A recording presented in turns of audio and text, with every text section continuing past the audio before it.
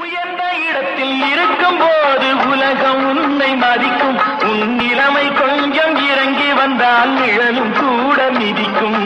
உயர்ந்த இடத்தில் இருக்கும் போது உலகம் உன்னை மதிக்கும். உன் நிலைமை கொஞ்சம் இறங்கி வந்தால் நிழலும் கூட மிதிக்கும்.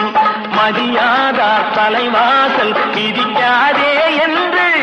மாறமுள்ள மனிதனுக்கு அவை சொல் அது அவ்வை சொன்னது அதில் அர்த்தம் உள்ளது. பரமசிவன் கை